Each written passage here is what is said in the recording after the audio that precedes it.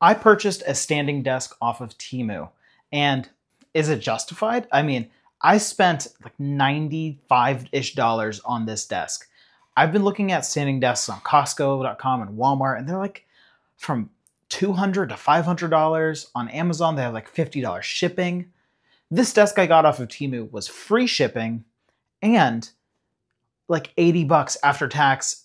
It was like 90 something dollars. And it came in three days. So, is this the new hack for buying standing desks? I mean, I guess let's find out together. Let's see if this is uh, crap or not. I've been needing a standing desk because I'm working from home and my back hurts from sitting all day. This was under a $100 on Temu. So let's put it together and see how it is.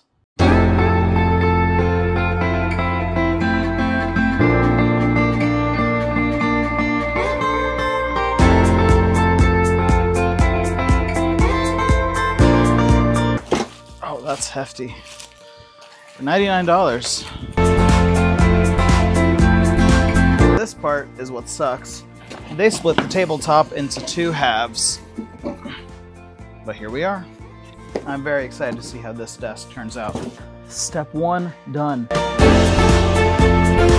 Finished step two, got the leg or head part on. Not sure really what's going on here right now.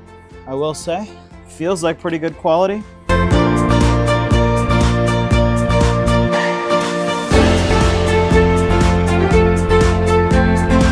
Got our legs on, it's time to flip it.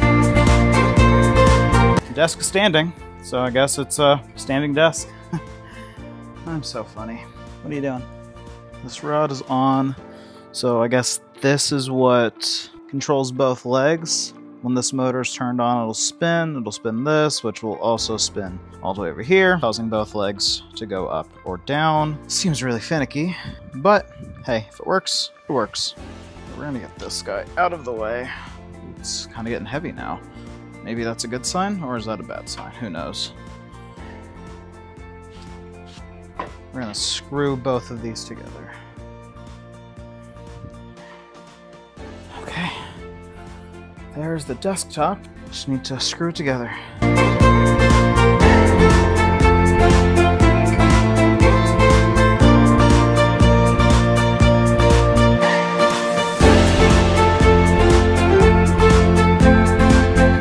Tabletop is put together. I absolutely hate that you can see that in the middle. But again, it was a $100. So here we are. Let's get it on the desk now. Just need to screw the legs onto the tabletop, plug it in, test it out. Look, it came with little hooks. I love the hooks.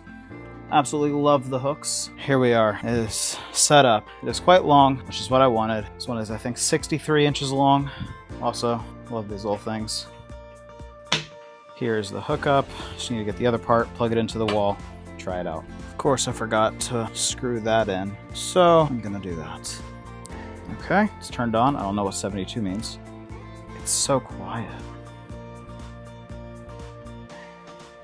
Okay, number's going up. Okay, 118 is the highest. Wow, that's that's wonderful. Very pleased. So there you go. Standing desk from Temu. Has memory. So now it's going to go back to the lowest, which is 72. Also comes with some cable management. There you go. All the way plugged in there. So there we go. I've had this desk for about a week now. And you know what? Overall, it's not a bad desk. What really sucks, and one of my least favorite parts, is that whenever I am standing and working, it's very wobbly. Now, maybe that's just physics because I, I, don't know how physics works. And the desk is a little bit louder and a little bit slower than I want it to be. But you know what? That's not the biggest deal. I can deal with it. That is the full height of the desk. Press that, and it's going to the lowest point that the desk will go. And as you can see, it's a bit slow. So all in all, I think this desk is phenomenal.